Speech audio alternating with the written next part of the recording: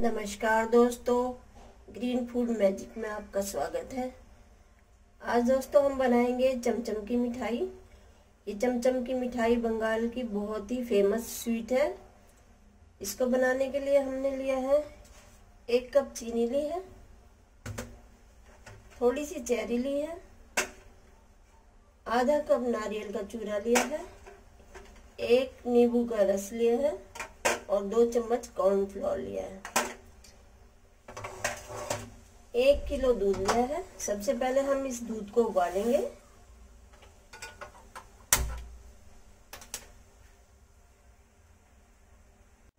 अब ये देखिए, दूध में उबाला गया है। अब हम नींबू का रस डालेंगे इसमें।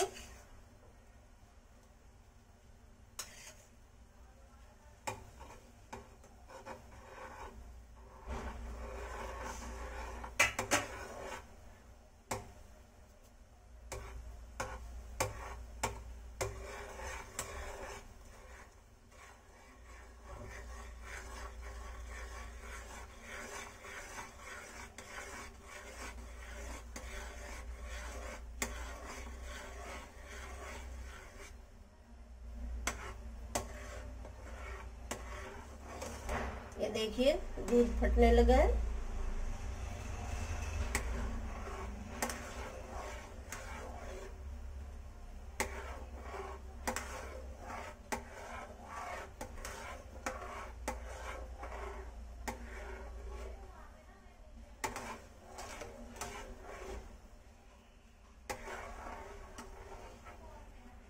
अब ये देखिए, दूध अच्छी तरह से फट गया है।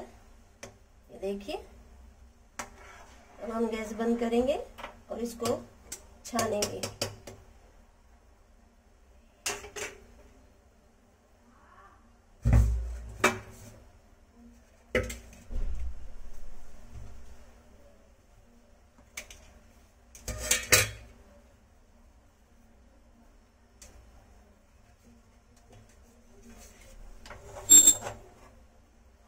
हम इस कपड़े में चल्ली लगाइए और इसमें छान लेंगे इसको।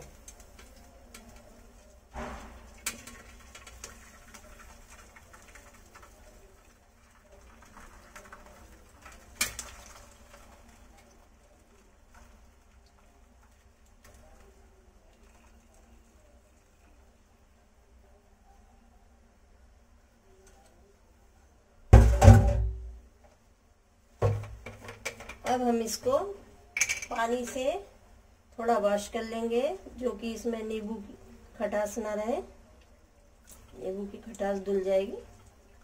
अच्छी तरह वॉश करेंगे।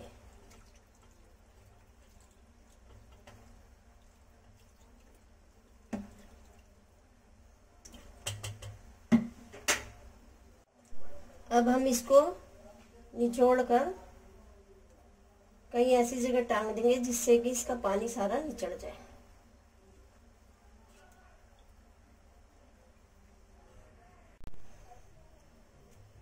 अब ये देखिए ठंडा हो गया है। अब इसको हम मैश करेंगे।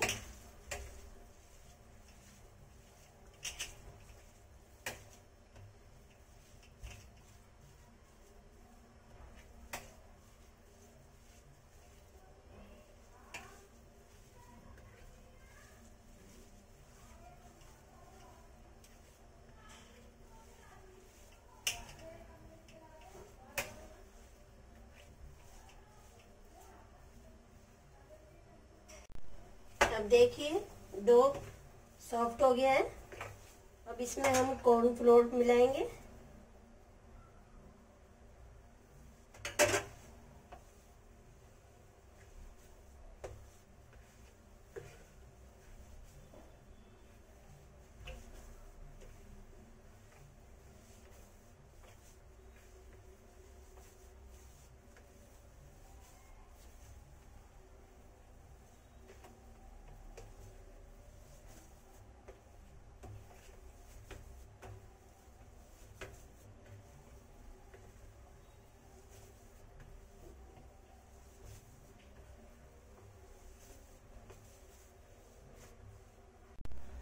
देखिए।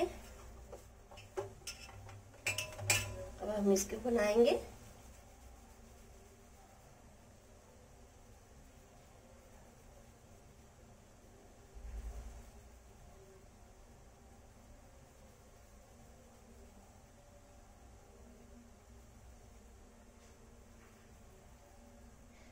ऐसे करके हम सारे बना लेंगे।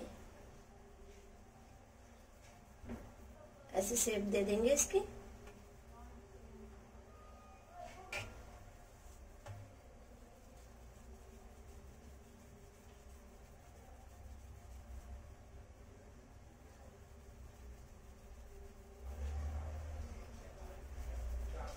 ये देखिए, सारे ऐसे बना लेंगे। अब हम गैस जलाएँगे और ये चीनी डाल देंगे।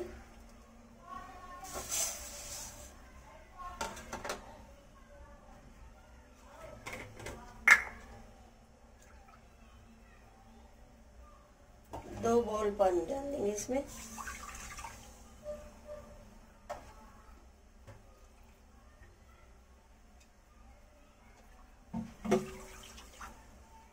और इसको उबलने देंगे।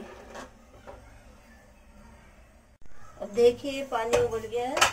सिरप इसमें हम डाल देंगे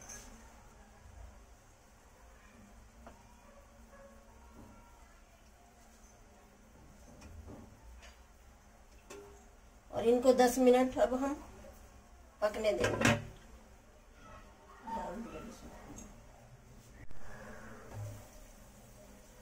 अब ये देखिए हो गए हैं। अब हम गैस बंद करेंगे और इनको निकाल लेंगे।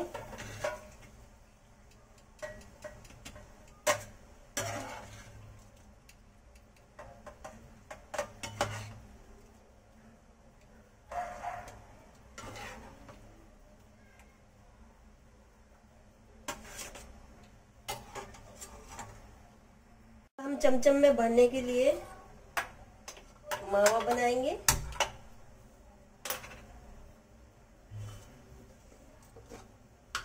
देसी घी डालूँगी पहले।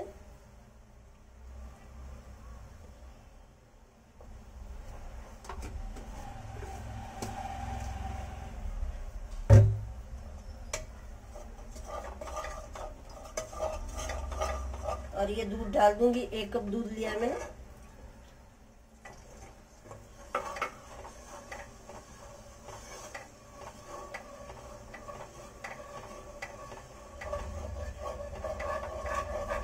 ये चीनी भी डाल देंगे हाफ़ कटोरी चीनी भी है मैंने।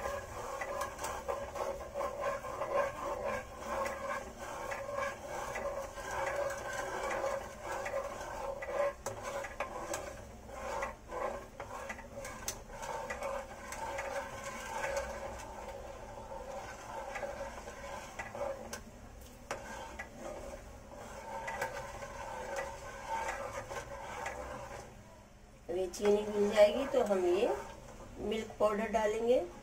ये आधा कटोरी मिल्क पाउडर लिया है।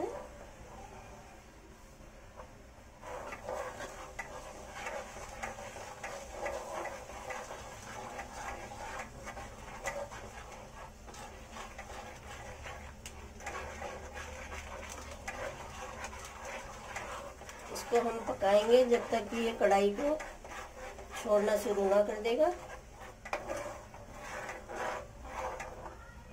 देखिए, हम इसको लगातार चलाएँगे क्योंकि ये लग जाएगा नीचे। इसलिए हम इसको लगातार चलाते रहेंगे जब तक ये एक आटे के डो जैसा नहीं बन जाएगा। ये देखिए, ये टाइट फॉर्म में आने लगा है। इसमें मैं थोड़ा सा फ़ूड कलर डाल दूँगी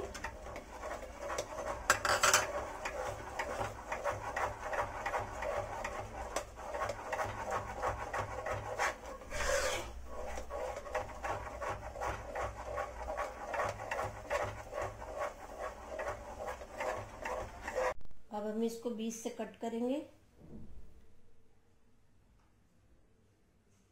ऐसे कट कर देंगे। और इसमें बीच में हम ये भर देंगे।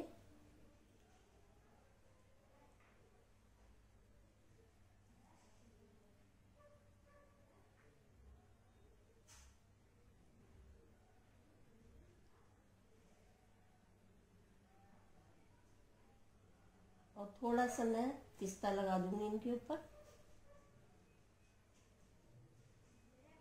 ये देखिए, ऐसे हम सारे भर लेंगे। अब देखिए, अब हम इस पे चांदी के वर्क लगाएँगे।